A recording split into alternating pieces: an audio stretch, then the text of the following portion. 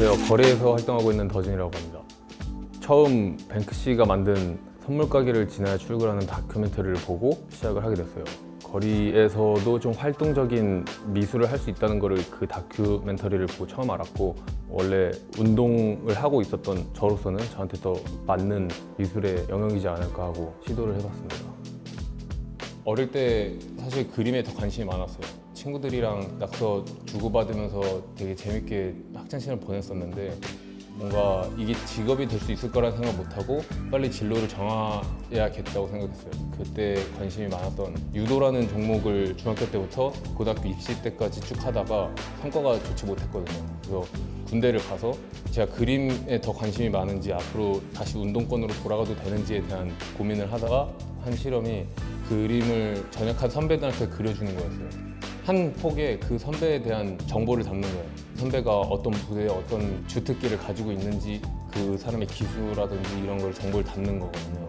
제 그림이 누군가 벽에 걸릴 수 있다는 거를 알게 된 순간이면서도 제 재능으로 누군가의 좋은 반응을 이끌어낼 수 있다는 점에서 굉장히 흥미로웠어요. 저의 성향 같은 경우에는 승부욕보다 누군가한테 영향을 주고 그걸 돌려받는 게 더 좋았었다라는 거를 그 실험을 통해서 알게 된 것 같아요. 그림을 제대로 그려봐야겠다고 생각했을 때 그 주제를 정하기 위해서 글을 굉장히 많이 썼거든요. 근데 항상 글의 끝에 도달하는 키워드가 자유와 평등이었어요.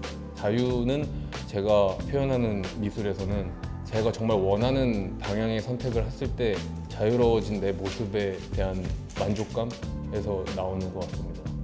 로날드 포스터에서 나오는 캐릭터가 달려나가는 행위 자체가 스스로 저를 표현하는 거고 포스터를 보는 사람도 거리에서 출구를 마주치면서 주저하고 있었던 선택들에 대해서 과감한 선택을 하라는 메시지를 담고 있습니다.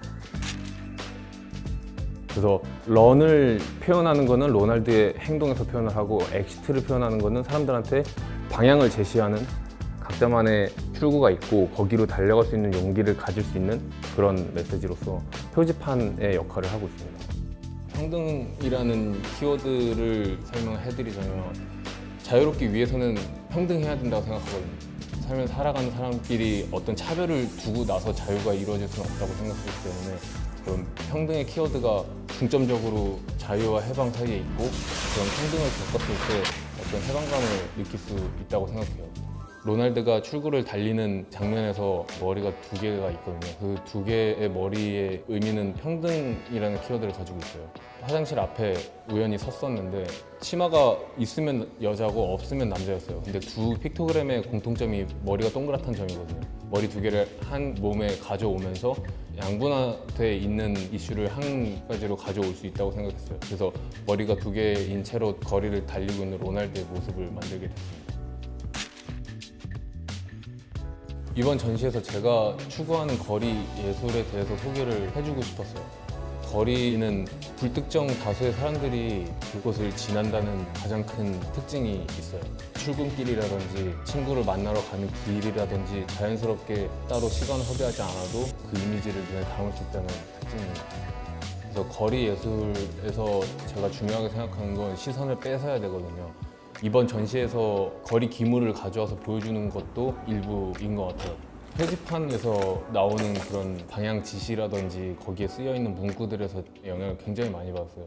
왜냐면 표지판의 목적과 거리 예술을 하는 사람의 목적이 같다고 저는 생각을 해요. 그래서 제가 제시하는 방향과 정확한 메시지를 눈에 잘 보이는 색과 위치에다가 배치를 해놓는 것 그리고 저도 거리로 나가서 사람들이 보지 않는 구석에다가 작업을 하진 않아요. 그래서 사람들이 제일 많이 볼 수 있고 그리고 익숙한 그림이라든지 익숙한 키워드를 사용해서 사람들의 눈을 사로잡을 수 있는 뭔가를 계속 연구하고 있어요.